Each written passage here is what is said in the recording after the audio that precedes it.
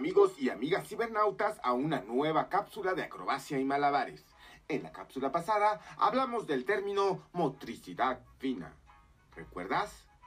Recuerda también que entre más horas practiques tendrás más oportunidad de mejorar. No te desesperes y practica. Bueno, vamos a comenzar. Hoy vamos a retomar el trabajo con clavas de malabares.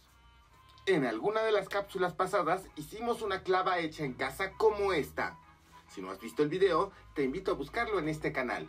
Otro consejo, si sientes que no puedes avanzar, no dejes de practicar y ten mucha paciencia, perseverancia y determinación. Ya verás que con el paso de los días irás cobrando más confianza, fuerza y agilidad. Antes de seguir, permíteme recordarte que debes buscar un lugar tranquilo y agradable en donde puedas practicar. Tal vez puede ser el patio o algún lugar de tu casa donde tengas espacio para moverte y altura suficiente para lanzar las clavas. Otra buena técnica es poner música para que puedas practicar tus ritmos y divertirte mucho más. Bueno, vamos a continuar. Los ejercicios que tenemos para hoy involucran también la motricidad fina. Recuerda que el término motricidad fina se refiere a los movimientos corporales complejos y coordinados que realiza alguna persona.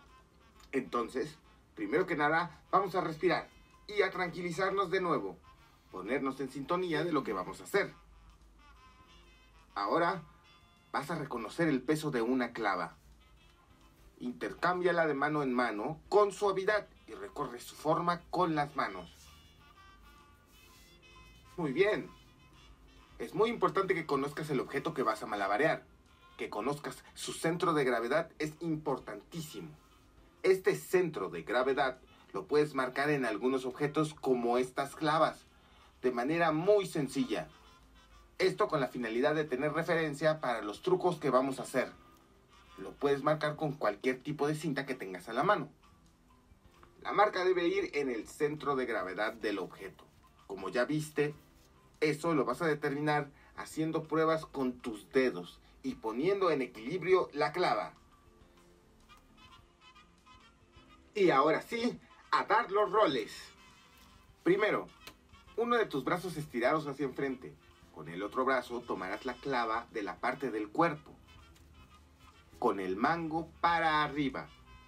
Tu mano también con el pulgar hacia arriba. Con cuidado, vas a apoyar la clava en tu brazo para que dé un giro completo rolando sobre tu brazo. Y lo recibes con la misma mano por debajo del brazo. Cuida que el centro de gravedad quede por arriba del brazo para que te sea más fácil dar el rol. Después puedes intentar hacerlo con el brazo contrario. A poco lo podrás hacer más rápido o puedes variar los movimientos en fuerza e intensidad. Además, después de familiarizarte con este truco, puedes evolucionar el movimiento lanzando la clava para recibirle con el antebrazo y continuar el rol. También lo estoy haciendo con mi clava hecha en casa, para certificar que mi objeto sí funciona.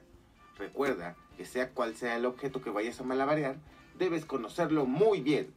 Hay un montón de ejercicios que puedes practicar, pero lo más importante es que selecciones alguno y lo perfecciones muy bien. No olvides practicar mucho y muy seguido, así tus ejercicios tendrán más calidad. Ten cuidado, no te desesperes y practica. Bueno, esto fue todo en esta cápsula. Recuerda que ya casi salimos de la cuarentena, pero por lo pronto es mejor quedarse en casa. No olvides seguir lavándote las manos muy seguido y usar tu cubrebocas. Unidos somos más fuertes. Puedes mandarme tus comentarios, fotos o videos a Bruno Benítez 83 arroba gmail.com. Que estés muy bien y hasta la próxima.